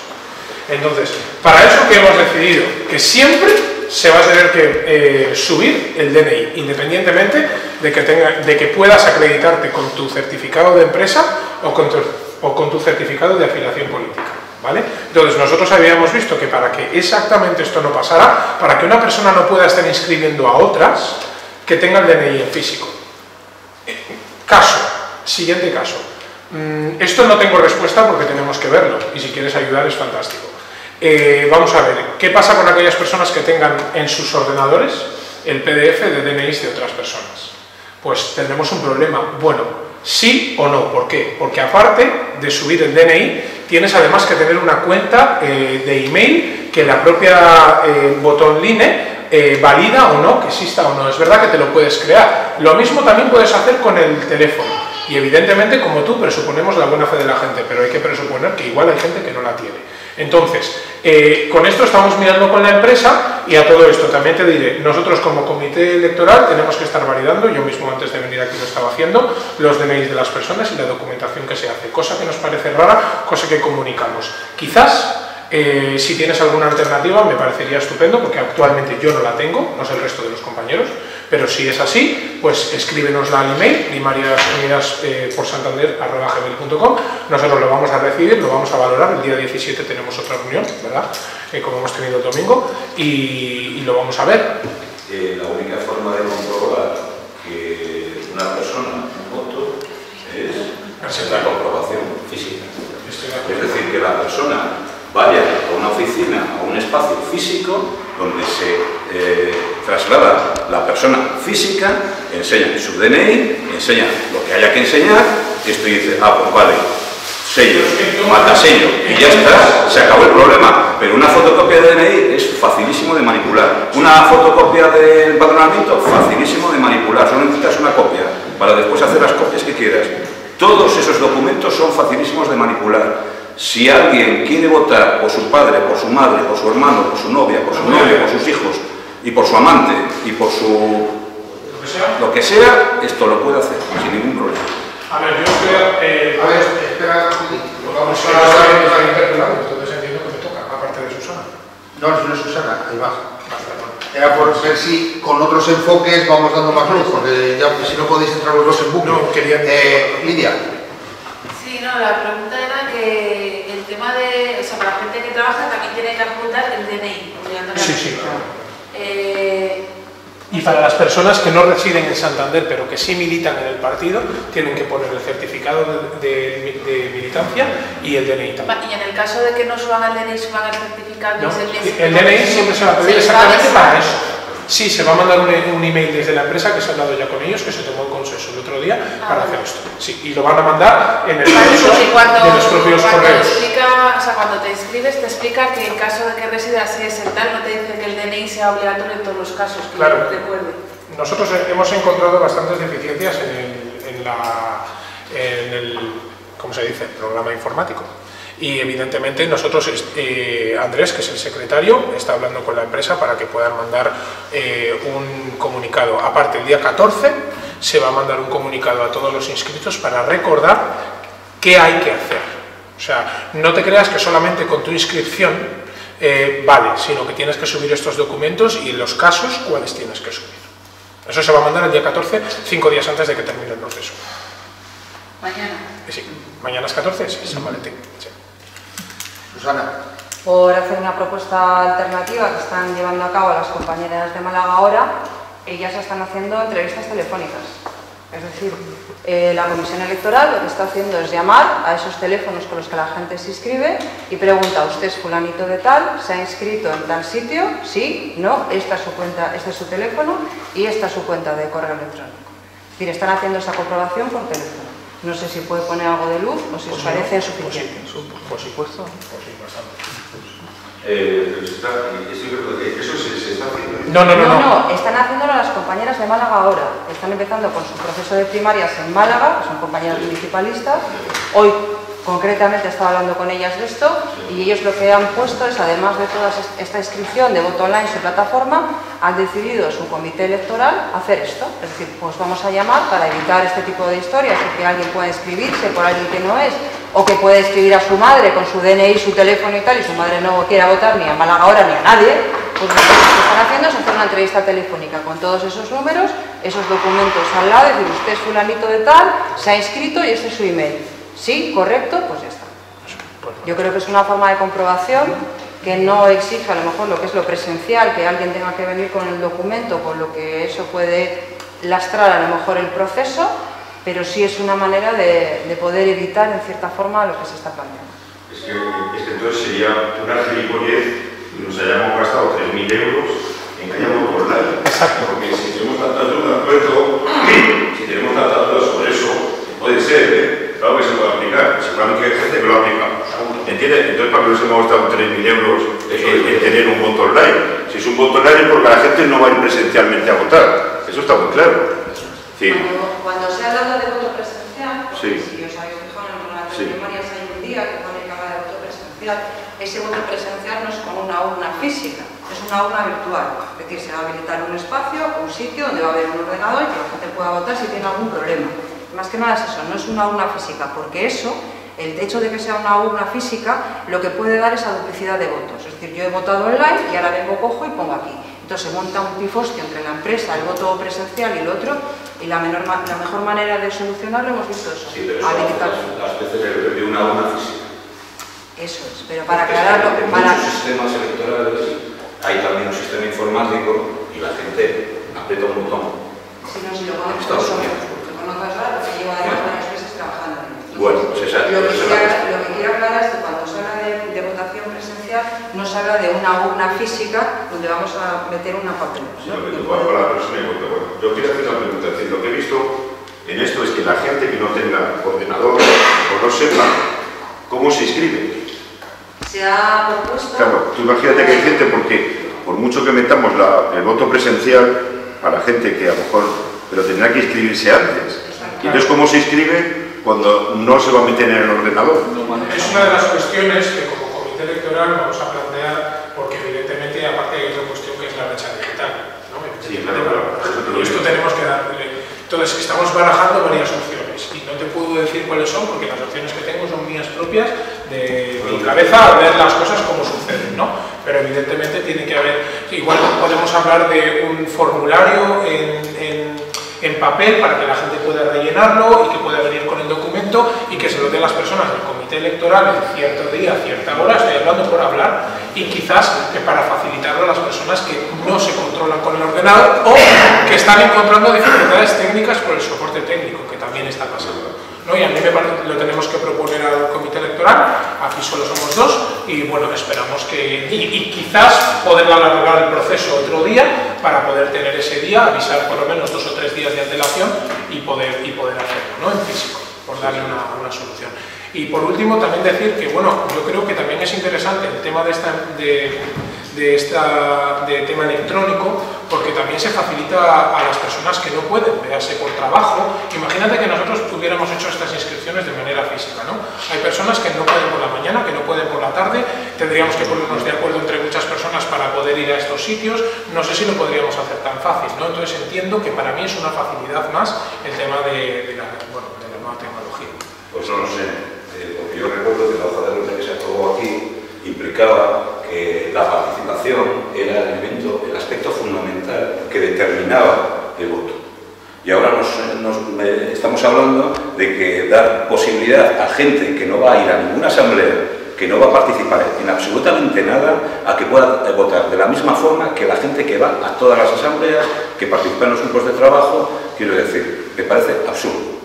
Pero además, pero además, la única forma de comprobar este tipo de cosas, que no es una, una exigencia terrible, es que las personas que quieran votar se vayan un día a un sitio determinado, que no hay ningún problema en que haga eso, y que se desplacen físicamente y vayan allí. No hay ningún problema. ¿Cuál es el problema para las cuál cuál va a ser el problema para las personas? No puede haberlo, no puede haberlo.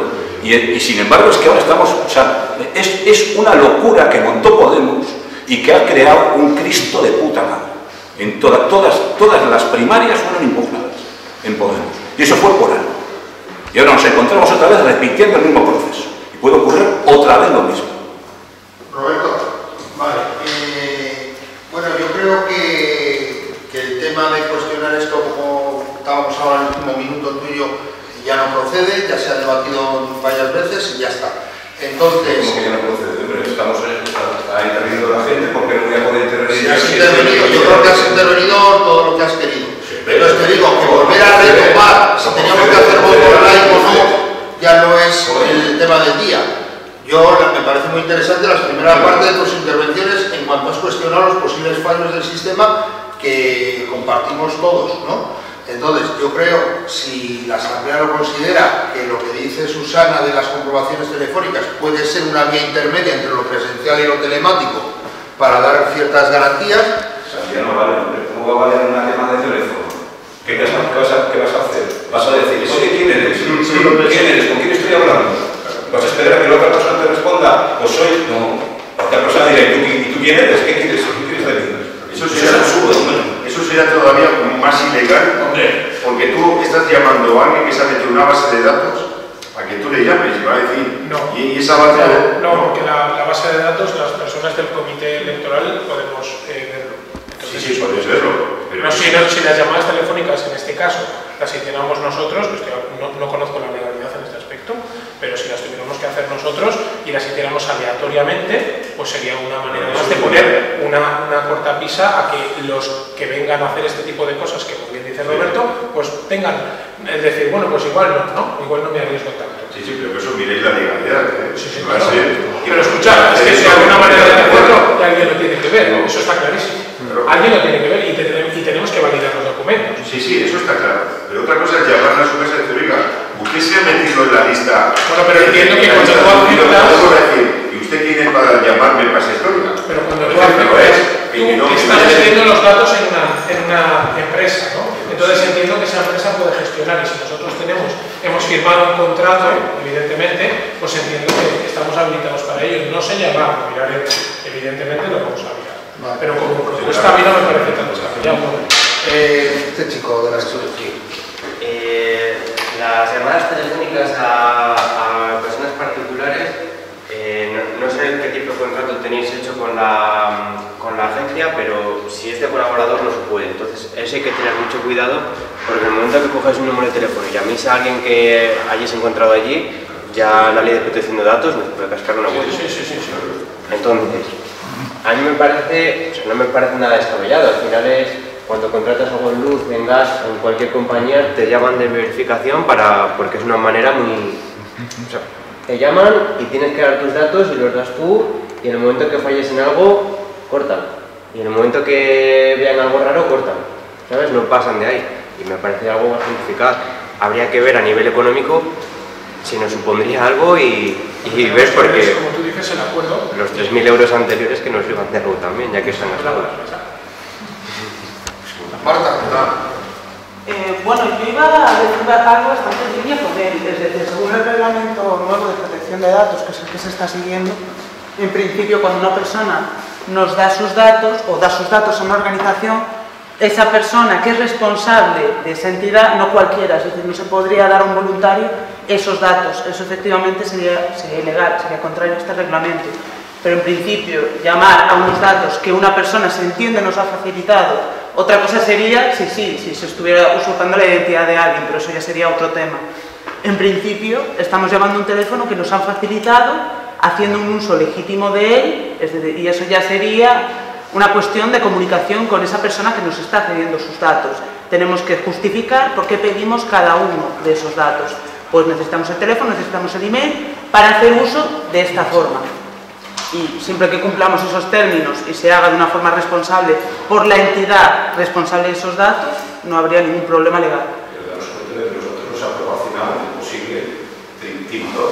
Pero si el caso si es un timador, pero por esa regla de tres, es decir, yo voy a un sitio, doy tu número de teléfono y te llaman, no es esa persona, la, la persona que te está llamando la que está incumpliendo, en cualquier caso soy yo que estoy suplantando tu identidad la que está cometiendo una ilegalidad. Desde el mismo momento en que te llamo y estoy verificando. teléfono que no es el de la persona que tiene ese identificación. Claro, es que- Todo claro, es claro, falso, claro. Todo es falso en los datos. Entonces, el teléfono móvil es falso. El, el Ya, pero yo no, puedo, yo no puedo demandar a una persona a quien alguien, un tercero, le ha dado mis datos de forma fraudulenta. En cualquier caso,